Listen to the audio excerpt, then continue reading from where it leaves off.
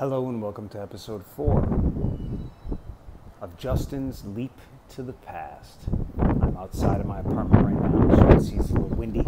Um, just trying to give you a different look every time. And uh, today, I want to talk about fighting. So, something about me, I consider myself a martial artist, and I've studied martial arts 25 years of my life. So, the two fights that I'd ever been in took place before that, so quite a while ago. And it's, I guess it's telling that I consider myself a, a pretty serious martial artist and have not gotten into a fight since these. So the first one, let's leap back to the summer before sixth grade. Man, it's yeah, it's really blowing. Maybe I'll maybe I'll not drop my phone down the balcony on the ninth floor. Um, so I used to go to the pool a lot, the public pool, Buckner Pool in Waukesha, Wisconsin. And I would be there pretty much every day without fail. And uh, surprisingly, I didn't get any tanner and I didn't get any skinnier, but rest assured, I would go to the pool all the time, swim around, dive off the diving boards, play basketball, volleyball, just explore being the physics of being underwater, just loving that. And uh, one time, a kid from my school who I didn't really know was there. Maybe there were a couple of us, and uh, I think I spit pool water in his face. To me, it was a joke. To him, he got a little little upset, I think. And uh, you know, we went on with our play, and then I think we got finished, got uh, got dressed, and and left left the pool area. And uh, I think he said something to me to the effect of like, "If you ever spit at me again, I'm going to beat your ass." This kid was about a year younger than me, and I was kind of a punk, so I spit on him. And he got really mad. And again, I wasn't taking it very seriously, but then he started pushing me. And a crowd started gathering around because nothing nothing attracts a crowd like a like a bunch of stupid kids that might might fight something interesting might happen. And uh, he's pushing me, and I push him a little bit, and uh, then there's starting to be people talking about well, lay the ground rules of this of this fight. Um, and finally, he does get upset enough that he starts punching me. And he's, he's punching me, punching me, and I don't, I don't feel it. I'm, uh, I'm like smiling, I'm like laughing at this kid as he's just trying to beat me senseless. And then I, he finally stops and he strikes like some Bruce Lee pose, I think to try and save face, thinking that, you know, oh, this, I was just joking when I was punching this guy a dozen times.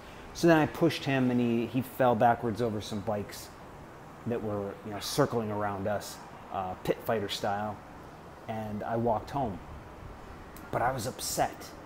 Maybe maybe the gravity of, of why he was doing that and, and what a jerk I was kind of got to me, and I, I I ended up tearing up on the way home. Like I remember being in the in the porch and my mom coming, and I was really upset because of this fight, even though nothing happened and I didn't even throw a punch. And now let's go forward in that, but still, let's leap back to uh, eighth grade. Eighth grade for me, I moved to a new school halfway through. Um, I was one of the poor kids. I was one of the less easy to define kids. You know, I wasn't like a sporty kid or an overly nerdy kid or a, a punk kid. I was just a kid. I was just me. And I remember in gym class, hopefully you can hear with the trains going by. Um, there was some pushing again pushing going on. I think it was in the the locker room of the gym. And uh, some of the tough kids were like on one end of a bench and i was sitting on this end.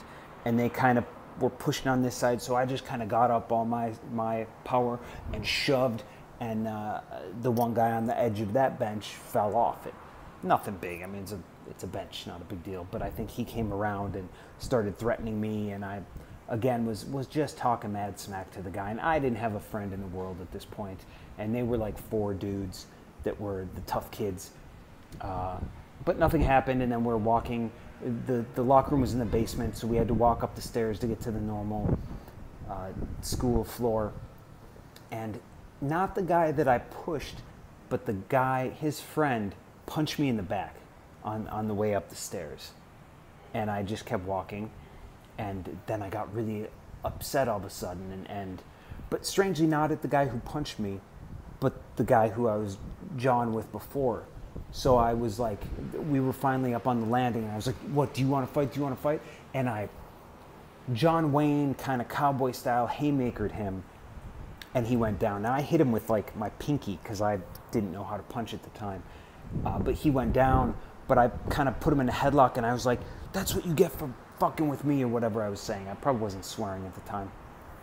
Um, and then I, I, I think, I think his buddy who punched me separated us, and then I went back to my locker. It was like the end of the day, got my stuff, and then the dude kind of jumped me in the hallway then, and, and and like thought that he'd probably get the get the jump on me, get the best of me, but again, I, I didn't. He was punching at me, and I didn't I didn't feel a thing.